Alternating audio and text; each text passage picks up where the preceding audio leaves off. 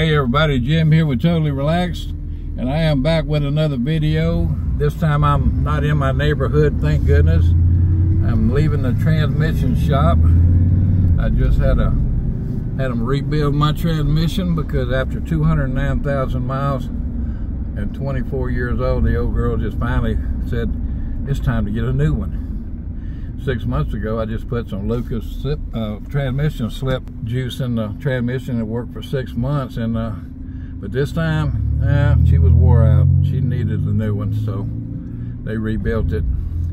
Give me a 36,000 mile, three-year warranty on it, so I'm happy now.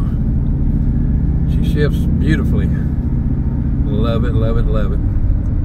Anyway, if you've never been to my channel before, for those of you that are here for the first time, I would uh, encourage you to, if you like what you see, to check out some other videos and uh, consider subscribing. And for those of you that are subscribed to me, I appreciate it. I love y'all for hanging with me.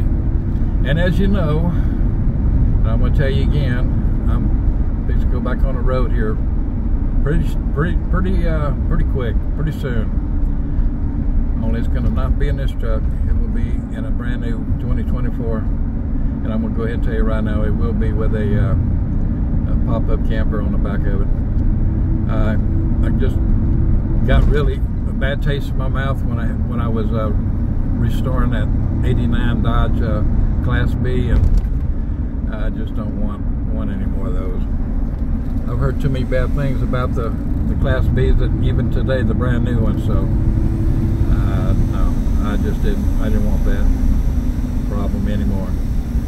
But anyway, as you can tell, it's a very cloudy day. Our rains are finally over with. It's been raining for over a week, and we needed the rain. I mean, it wasn't hard rains. It was just like a, a steady, uh, easy rain all day long, which is what we needed because that way it would it would soak into the ground, you know, and all that. And that's exactly what we needed.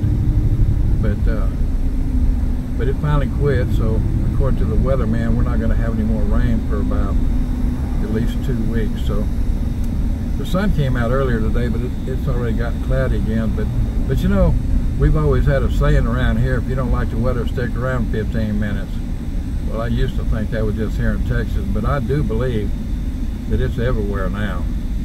It ain't just just in Texas alone. So, but anyway, I'm uh, headed back towards the house now, and uh, glad to get my truck back. My neighbor who's been in the hospital, you know, when he, he's out now, he got out on the first, and uh, y'all seen him in my videos as well, uh, Jim Senior. But anyway, uh, I had his uh, brand new Ford pickup at my disposal if I ever needed it. But like I told him, I was always afraid to drive it for fear that one of these kids that likes to race their cars up and down our road would hit it, you know, or something. And I didn't want, I didn't want to be in that situation. So, but I did drive it one day to meet meet him when uh, uh, he got out of the hospital, and also when I went to the doctor with him and his uh, other half uh, last week. So, so I got a little bit of a taste of what a new truck is going to feel like driving again. I can't remember ever buying a brand spanking new truck, but I am pretty soon, as I said. So I'm looking real forward to it. And it will be a GMC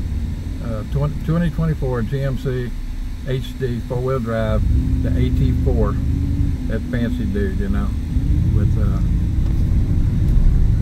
it, I think it's fancier than a Denali myself, but but uh, that's just me, you know. It's just what I think. But anyway, I'm gonna probably quit yakking here and just let y'all see some scenery and I might just put some music to it until the end of the video.